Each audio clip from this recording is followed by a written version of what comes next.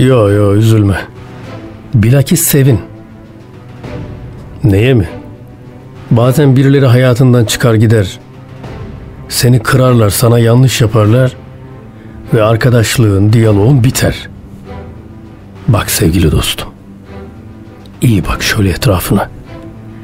Birbirini sevmediği halde samimi olan insanlar görürsün. Bu bana göre değil. Bu nedenle boş ver. İyi ki canım yanmış. Çok şükür ki sahtekarlıklarından kurtuldum. Kim bilir belki de sabrım bitmiştir. İçinde bitmez dediğin iyi niyetlerin tükenmiştir. Belki birileri için artık parmağını bile oynatmak gelmiyordur içinden. Belki için çok şeyden vazgeçmiştir. Bazı yaşadıkların ve bekleyip de yaşayamadıkların canına yetmiştir. Yorulmuşsundur belki. Ve artık inancın kalmamıştır insanlara. Belki sen kazanmışsındır, belki onlar kaybetmiştir. Kim bilir? Belki de o yalnızlığın bir mucizeyi bekleyişindendir. Olamaz mı? Olabilir. Evet. İnsan şerefli yaratılmıştır.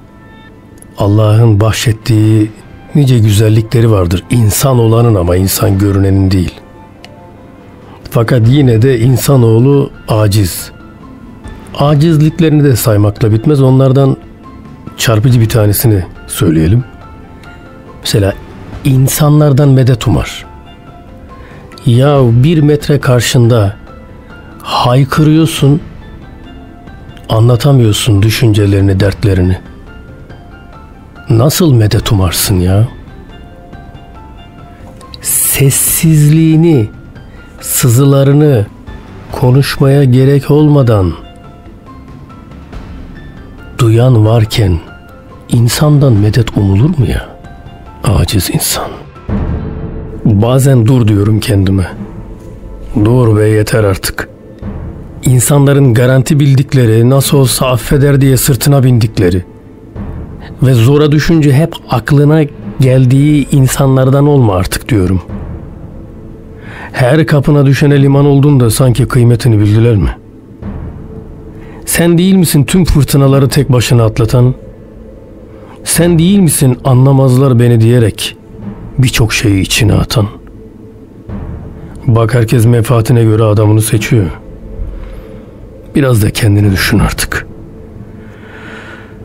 Görmüyor musun ömür dediğin çok çabuk geçiyor.''